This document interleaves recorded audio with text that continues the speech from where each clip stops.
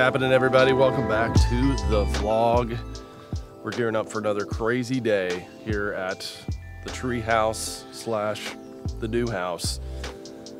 And I'm gonna vent a little bit, but um, we're just we're just getting rocking and rolling. I need some coffee right now. Beautiful, gorgeous morning. Um, got the itch. Oh my gosh, I have the itch to get into the into the deer woods. Literally had two bucks that have been fighting over here at the side yard at the tree house. There's freaking bucks and does just running wild over at the other house. And I'm just moving boxes and doing things. So it's been, it's been frustrating. All right. Mm. Mm-hmm. It's been a minute, guys. I've been off at a Googan week there was an election that took place last week. Any of you dads out there, people with responsibilities and dependents, a little bit of weight just came off the shoulders. Everyone's excited. We've been having showings on this house every day. People are like, oh, okay, election's over. Now I'm feeling good. I want to go house shopping. And we've just had to leave our home basically every day. The really funky part about our situation right now is Amy's in school in this town and we're moving to another town.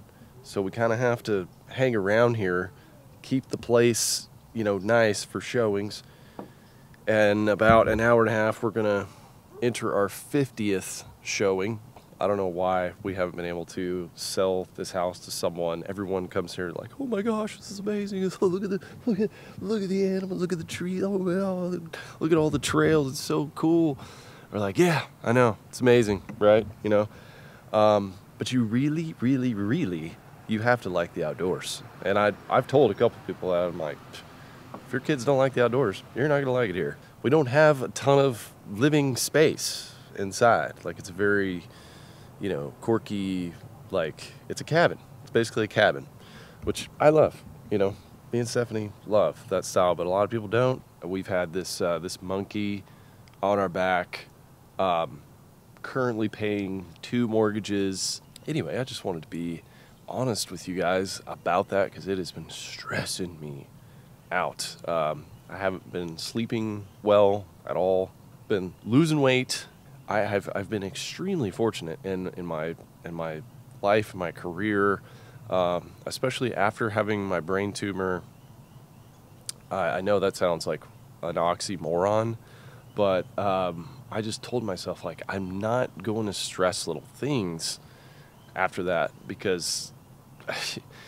It, it can cause you to have to get all sorts of diseases like stressing yourself out can be really really really bad and uh, and and I've kind of lived by that, and I've had this great attitude, and um, you know, I try to express that in a lot of my videos.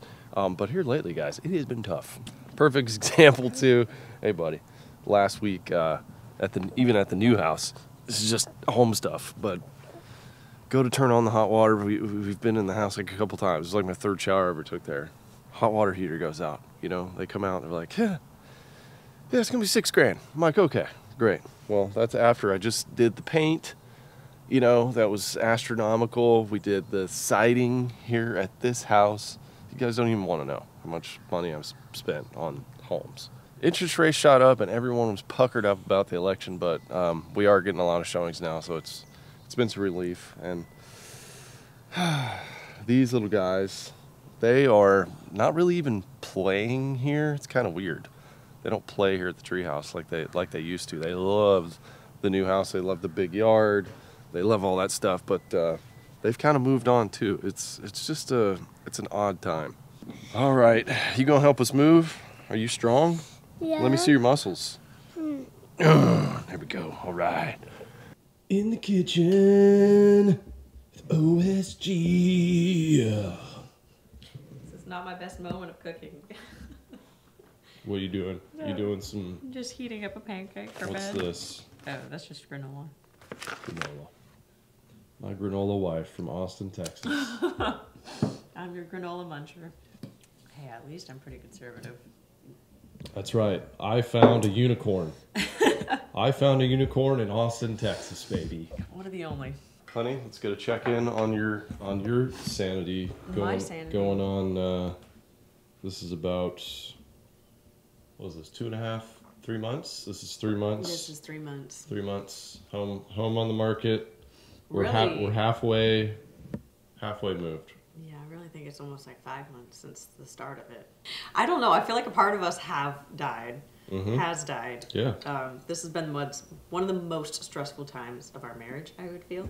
Not that our marriage is in jeopardy or anything like that, but I mean, it's just been it's been such a hard time. Yeah, it's hard Oh on my kids, gosh. hard on everybody. It's hard on our like our health. Our health has taken a toll. Um, are you are you sleeping? Are you still sleeping? I so I, I I got up at three again last night. So I've been I've been waking up at like three a.m. for about I don't know. I did it for about three weeks in a row. Now I still kind of off and on. I get a little bit of sleep, but I'll just wake up and uh, Then you start thinking. yeah, I start thinking, yeah, you know, I don't like to wake up at that hour. It's the if you know, you know. It's been it's been one of those. We're just ready to have like one home. You know, it sounds really cool. It's like, oh, we got two houses. We got two houses and no home. Yeah. And that, that's like that's what stinks. Is like We we're have no ready to- privacy. We have no. We have no like comfort. Like this is home. We can relax. We can just chill. Yeah, someone's gonna be here knocking at the door In two and- hours In, and- an hour, and then yeah, when we go over to the other house, we're like working over there. Then we gotta come back, Mm-hmm. you know, get Emmy to school and all this. So, but we have been over there, and we have. I have some great updates for you guys, um, especially. Um, ooh, the man cave. The man cave is looking spicy, and. the house that's done. And I had my Googan buddies over there this week, and we made some some pond improvements. So I'm gonna take you guys over there for that. Uh, and I mean, we've been little worker bees. I have got a uh, a monstrous upgrade. Our golf cart's been dead for six months. Had to get it going. Like two years. Two It's been years. like two I'm years. sorry. I have a brain tumor, and I needed to fix it up. It was all dead and everything. I did the full upgrade to lithium. The thing's a beast now. The whitetails, the birds, they've been removed. My office, the desk is completely taken apart. There's nothing in here. Nothing. Nothing on the walls. It's it's gone, ladies and gentlemen. And here's the really frustrating part about being a YouTuber in my situation is I don't have internet at my other house. And it's actually pretty hard to get. And I, I've been begging someone to, you know, give give me internet. I will pay you money. Please install internet and they just won't get back with me. Uh, so my internet is here at this house. So that means I have to like drive over here to upload. It's been a mess. Moving the couch for the Facebook Marketplace money because we need it. How are you picking this up? Wait, I can't even. I can't even pick it up. I'm gonna lean it this way. Get under it. Yep. Come on up. Come on up, Buttercup. All right. You got her? I think so. All right, I'm going high. Okay, me too. Again, I'm gonna, I'm gonna rest for a second. Regroup. There we go.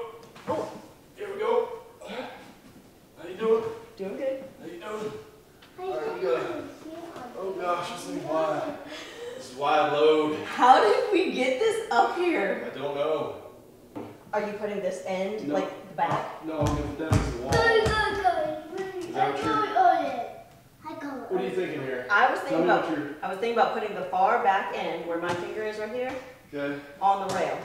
Is that gonna Alright. work? Well, I'm basically like chest pressing this entire thing right now, so uh, just all right. Let's put it back down over there and redo it. Okay, I I'm just balanced right here. Okay. Okay. Okay. All right. You got it? Lay it down. Where, where where's that? Lay it down. Yep. Yep. Yep. yep. Oh, What? look at the wall. Oh my gosh. No. I think it's just fuzz.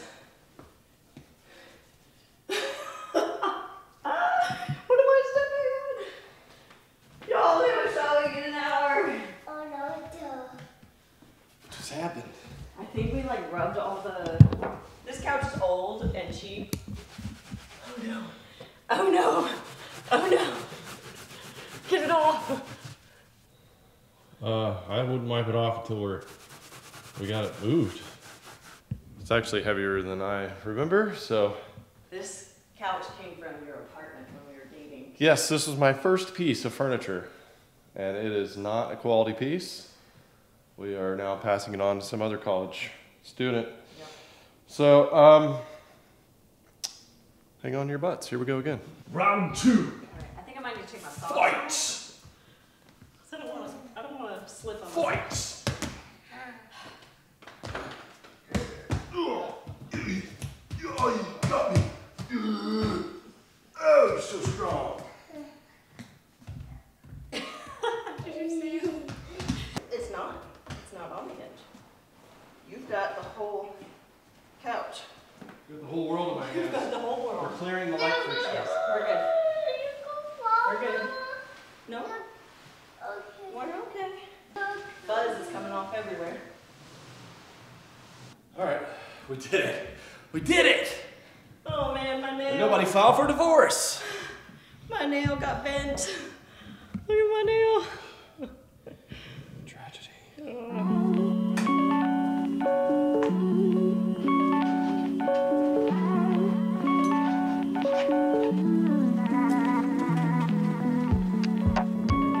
I got to show you guys this because I know a lot of you have golf carts. I just started redoing the old E-Z-GO. It was Halloween. I needed something to get the kids out for trick or treating. We've had this thing, it's been broken down forever. And I had to put some new batteries in it. And uh, it's expensive to put in brand new batteries. Um, anyway, Pro Guide has just come out with this, this lithium conversion kit for golf carts, and it is the deal. So if you are, uh, I'm going to throw this out there because I know a lot of you have carts, but if your cart is dead or you're looking to upgrade it, don't waste your money on doing the old lead acids anymore. I mean, at least get AGMs, but if if you want to not mess with this thing for like a decade, get the lithium conversion kit. It's awesome. And I went ahead and I, I cleaned this baby up. She's looking good. Looking good. And at the new house, at the new house, we've got the pond back there. I want to set up a little 3D archery uh, course. So I'm, I'm planning on using this cart a lot. So I needed to upgrade it. And we just ripped out the old AGMs. I mean, they were weak, they were dying. It was not pretty. We stripped everything out and we, uh, we're still working on this. It's a work in, in progress, but this baby is powering the whole deal. This is one battery. So instead of the four, I'm replacing it with a 48 volt and this powers the whole thing. And I went ahead and I spruced it up a little bit and we added, this actually comes with a kit. This is your, um, this converts your, your voltage down uh, to 12 and then I put in a little um, a little accessory box. So I got a fuse panel here. We can we could put in you know lights and different stuff. These are these are glow lights that I'm actually putting on the bottom, and I'm gonna add some headlights and stuff like that. You know who who knows? I figured I'd tell you guys about it because I, I know a lot of you have carts. You probably are thinking about the switch to lithium in your bass boat or have already done it and it's way better in a golf cart because you, I mean you just use so much more of that power and you get a 10 year warranty so Pro Guide's got it going on with that conversion kit and uh, they also have an lcd display that comes with it and a power switch on and off. So you can see exactly what's going on. You can see the voltage right there 53 volts not using anything right now. And you can cut it off right there. Keeps that safe. And i'll have a link to the pro guide site down below if you guys want to check them out. It's what i use in my silver bullet now using it in the golf cart. Shop around. But the other reason i wanted to show you guys this cart we did a little bit of let's just say aggressive actions off the uh, off the concrete path. And this rod right here. Do you see that rod? See if i can get a, I need to get a good good angle on this. This is bent. That is bent right there.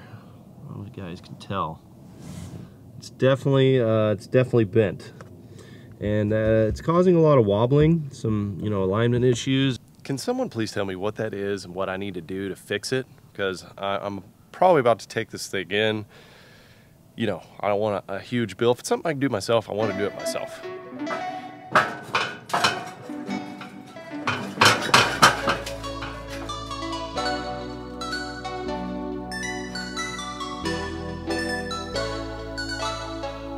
Just pulling up to the new crib, and first thing we're gonna do is do a water test.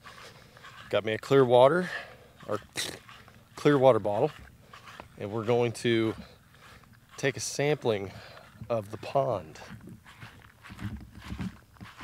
Just looking around here on the ground. Oh my gosh. My gosh. They're everywhere. They're everywhere. The deer back here have been insane, and uh, there was actually one sleeping in the front yard the other night. So crazy. So lots of neighborhood deer. Love to see it. Love to see it. Maybe they'll come eat tortillas out of my hand one day. Some of my Googan boys came over here. We seined the pond. We did an official check. And it turns out it was full of bluegill. So when you guys saw me fishing this pond, I thought I was hitting rocks. I was like, oh, it's got a hard bottom. That'd be great for like a gravel spawn area. It wasn't rocks. It was so many small bluegill hitting my crankbait and I just never hooked any of them. So when we swept it with the seine net, you know, we caught dozens of them. We probably caught 40, 50 bluegills. And we bought some bass. We got a couple different kinds of bass. We got some catfish. Turns out there are already some catfish in here, just real tiny ones, like those little yellow cats. And we put in some other bait fish. We put in a couple of like big bluegill. We, uh, uh, we, put, we put in like a few hundred, you know, fathead minnows and stuff like that. But um, I did ask when I was up there, a place called Pond King. I asked them, "Oh my gosh, look at this!" Sorry to interrupt. It's just like deer tracks everywhere. After the rain, you can just see them. I asked for a solution for getting some clear water in the pond, and I was told you need to try gypsum. But first, what you need to do is get you a glass or water bottle, fill it up, set it on a on a table or counter and just let it sit for a little while and see what happens. And if the water clears up on its own, then your pond water is probably going to clear up on its own. I don't think it's going to, but we're going to perform this experiment anyway because sometimes there's something under the water. Let's say you have a bunch of turtles or, you know, carp or something in there that can stir up your pond constantly keep it turbid. So we're going to take a little water sampling here and see what happens.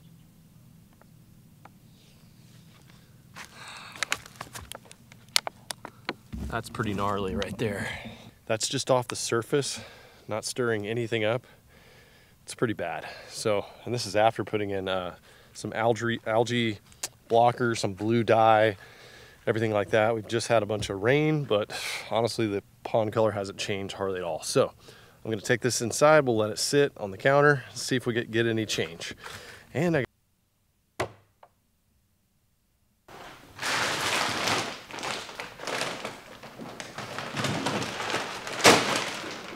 Would you just look at her in her new home? Looking great. This is going to be perfect for zipping around to the pond, going to the woods, carrying brush, doing yard stuff, zipping around the neighborhood. It's going to be great here. I put a little deer trail cam out. I spread some corn. It was just insane how many deer. I was trying to see if a hog would come back because I had a hog on camera, and I don't think it ever really did. But there were so many, um, so many animals and so many bucks that came and just like messed up the camera. So it was sitting on a little tree. I need to move it. Um, it's it's been a week or two, so I'm just gonna take some corn down there. We're gonna respread and see if uh, see if any piglets come. Um, and I have started to see the deer coming through the yard in the morning. It's pretty cool. You know, a few times I've been here, wake up, go out, and there's deer just like either coming in. They kind of come in and uh, they sleep in people's yards. They eat the grass. You know, they just hang out. And they go back into the woods during the day, and they kind of like to use um, my little trail back here. So we're probably going to spook some deer when we go back here.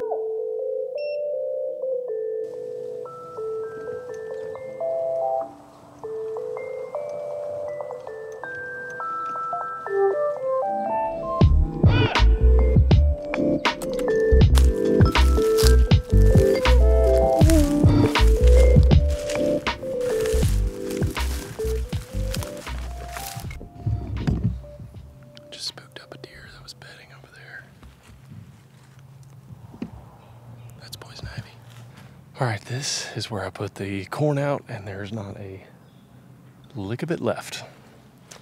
So I think I'm actually just gonna put it up by the pond. That's where I saw the hog in the first place, coming to drink by the pond. But there's something else I gotta show you guys.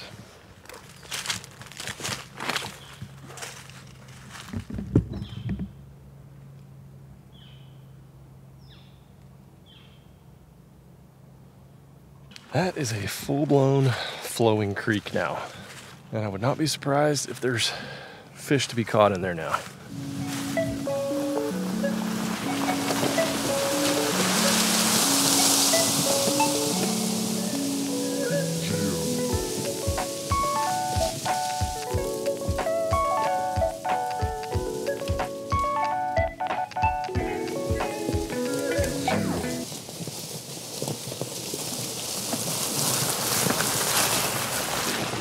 Our trail cam over by the pond. I also moved some brush out there with the golf cart, just random limbs after a storm, so it's already coming in handy. But I got to show you guys the man cave. Let's go ahead and flip on some lights. Threw a couple of chairs up here. Me and Steph got some some shelves back here. We've got our our ducks up on the wall. That's actually Stephanie's whitetail deer right there that we uh, harvested with the family. Course, we got our big bass. We've got a couple of bucks right here. Some good looking bucks, man. Good looking bucks. And then we come over here. Bull tahr. Bull tahr up on the fireplace. And we've got, we moved Uncle Herschel over here. He's under the lights. And we've got our, our low fence uh, 149 inch deer right there. Very, very nice. We've got, uh, we moved our little coffee table in here from today with a little whitetail on it. It's actually my first deer that I ever harvested right there. There's a lot of firsts in here. And we've got some, some various other, other little things in the nooks.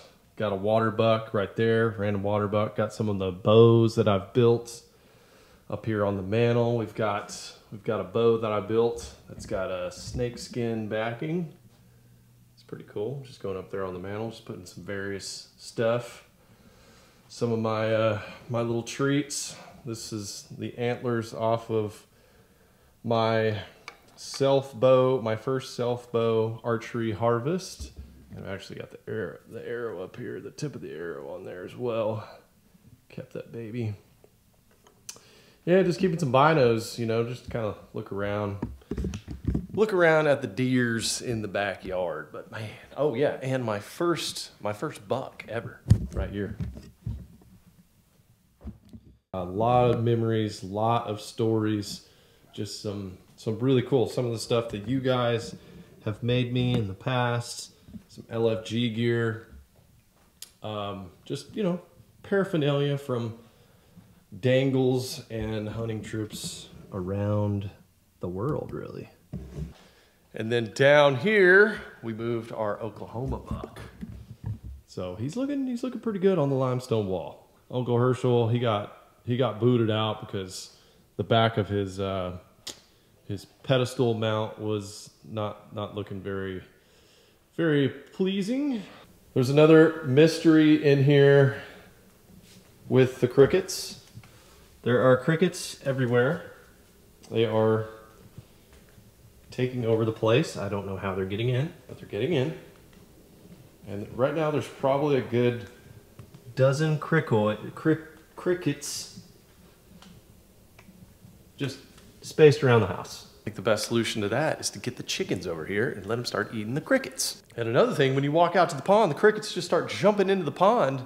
And there was really tiny bluegill in there before. Now there's bluegill big enough in there to eat those and the bass. The bass that are in there, they're hmm, probably about eight to 12 inches long. Like they're, they're ready to go. Like they're, they're ready to eat a spinnerbait.